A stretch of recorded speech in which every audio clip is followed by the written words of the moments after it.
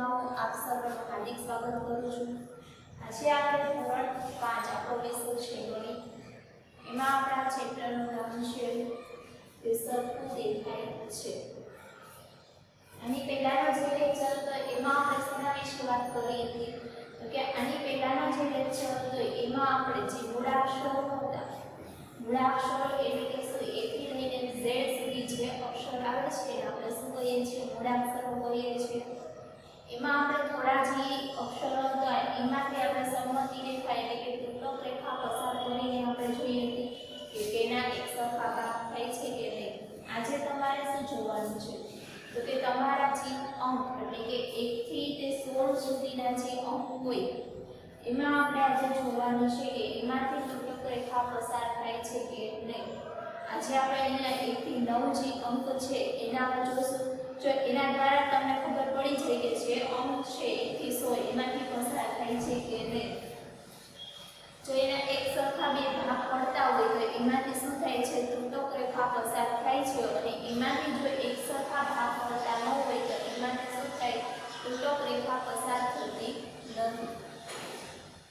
આપણે જોઈએ કે નીચેના દરેક આકારના સમમિતિ તૂટક રેખા દોરો તો આપણે પહેલો આકાર કયો છે તો કે વન છે એની વચ્ચેથી આપણે શું કરીએ તૂટક રેખા પસાર કરીએ હવે જુઓ, જેવો એક આ બાજુ દેખાય છે વન, એવો જ ઓલી બાજુ વન દેખાય છે તો કે નથી દેખાતું. તો એમાંથી સંમતિ રેખા પસાર થતી નથી હવે. ટુ છે? એમાંથી આપણે વચ્ચેથી પસાર કરીએ. જેવો આ બાજુ ભાગ દેખાય છે, એવો જ આ બાજુ ભાગ દેખાય છે તો કે નથી દેખાતો. હવે થ્રી છે, એની ત્રીજું છે, એની અંદર જે અંક છે, એનો આપણે જોઈએ કે પસાર થાય છે કે નહીં અને સંમતિ રેખા તમારે હંમેશા ક્યાંથી પસાર કરવાની હોય વચ્ચે.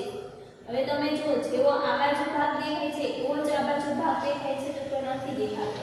એમાંથી પસાર થતી નથી. કઈ રેખા પસાર થતી નથી તો કે સંમતિ રેખા પસાર થતી નથી એના પછીનો ભાગ જોઈએ જે તમારો આપણે ચોથું ઉદાહરણ છે એ જોઈને એમાં ફોર એમાંથી વચ્ચેથી પસાર કરીએ હવે જે આ બાજુ ભાગ છે એવો જ આ બાજુ ભાગ છે તો કે નથી હવે આપણે એના પછીનું જે તમારું પાંચમું ઉદાહરણ છે એ આપણે જોઈએ છે એમાં શું છે તમારો અંક નંબર જે પાંચ છે એ આપણે જોવાનું છે. સંમતિ રેખા ક્યાંથી પસાર કરશો તો કે વચ્ચેથી? અને જો વચ્ચેથી પસાર કરીએ ને બે એક સરખા ભાગ થતા હોય તો એમાંથી સંમતિ રેખા પસાર થાય છે. જો જેવો આ ભાગ છે 5 નો, એવો જ આ ભાગ છે તો કે નથી એમાંથી પસાર થતી નથી. એના પછી હવે આપણે છઠ્ઠું જે ઉદાહરણ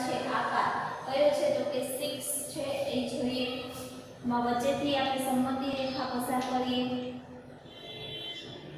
બે બાજુ જુઓ 6 જે અંક છે. એમાં બે બાજુ એક જ સરખો અંક તમને દેખાય છે તો કે નથી દેખાતો. જો આ બાજુ જેવો અહીંયા દેખાય છે, એવો જ અહીંયા દેખાય છે કે નથી દેખાતો. એમાંથી પસાર થતી નથી. હવે સેવન જે તમારો આપણો સેવન આકાર છે, એનો આપણે જોઈએ. વચ્ચેથી આપણે તૂટક રેખા પસાર કરીએ હવે બે એના એક સરખા ભાગ થાય છે કે નહીં તો કે નથી થતા. એટલે 8 માં જોઈએ. આમાં જો એક સરખા ભાગ થઈ જાય છે હવે 9 માં જોઈએ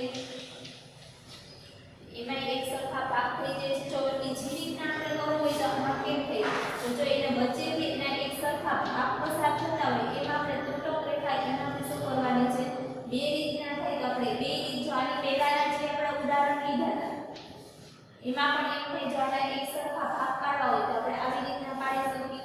આ બેના એક સરખા ભાગ થઈ ગયા. હવે જે આ થર્ડ છે, એના એક સરખા ભાગ પાડવા હોય તો આપણે શું કરી શકીએ?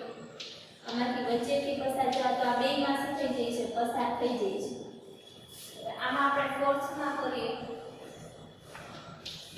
તો એક સરખા આમાં આડા ભાગ પાડીએ છીએ તો એમાં થતું નથી હોય. ફાઈવમાં કરીને જોઈએ તો જો ફાઈવમાં થઈ જશે, તો ઈ શું આવશે? સાચું આવશે? હવે તમારે સિક્સમાં જોવાનું છે.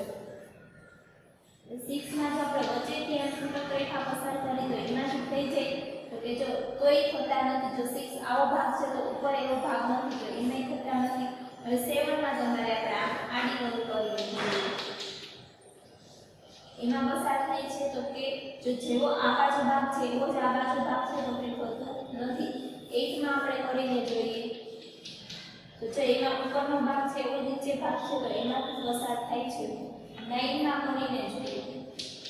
જેવો ઉપર ભાગ છે, એવો નીચે ભાગ છે, તો કે એમાંથી પસાર થતી નથી. વિદ્યાર્થી મિત્રો, તમારે હોમવર્ક શું કરવાનું રહેશે.